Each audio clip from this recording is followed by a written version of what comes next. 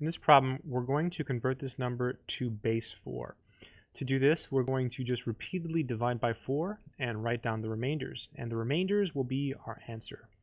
So we'll start by taking 11028 and dividing by 4. So I'm going to put this into my calculator, 11028 divided by 4.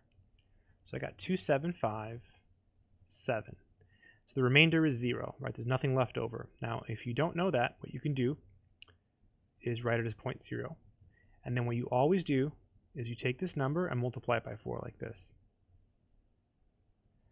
And that's the remainder. Okay, so always just take the decimal part and multiply it by 4, and that gives you the remainder. Let's do it again. So now you take this number and divide it by 4. You always take the whole number part and divide by 4, like this. So let's do it. 2757 divided by 4. So I got 689.25. So now you see there is a decimal there. And just like before, you, you take this number and multiply it by 4. 0.25 times 4. So 0.25 times 4, which is 1. So the remainder is 1. Okay, the remainder will always be 0, 1, 0, 1, 2, or 3 in this problem. So let's do it again. You take 689. So take this one and divide it by 4.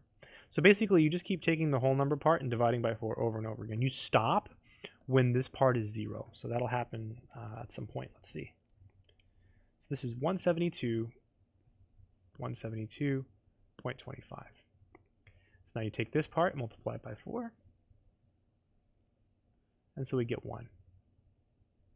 Then you do it again, right? Take this part, 172, divide it by 4. 172 divided by 4. So this is, let's see what we get. Oh, I got 43.0. So the remainder is 0. But again, if you wanted to follow the, the steps, you would just do this, and you get 0. Then you do it again, except you take 43. So 43 divided by 4. So this is 10.75. You know, you could do some of this in your head too. Like, you know, 43, uh, 4 goes into 43 10 times and three is left over, so the remainder is 3. But this is just a way uh, that you can write it down and just like follow the steps so that you can always get it right. Because sometimes it's hard to do in your head, right? So say 3. Then you go to the next one, 10. 10 divided by 4. This time the remainder should be 2, right? 4 goes into 10 uh, twice, and you have 2 left over. But let's let's work it out. Let's see. 10 divided by 4. I got 2.5. Then you take the decimal, so so 0.5, multiply it by 4, which is which is 2. Then you do it again. 2 divided by 4, right? Take this number, divided by 4. So 2 divided by 4. This is 0 0.5.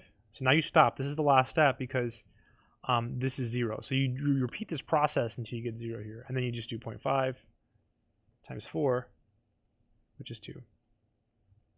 Okay, now you write them backwards. 2 two, three, zero, one, one, zero. And then you put like a subscript like this, you just write four. And that should be the final answer. I hope this video has been helpful. Good luck.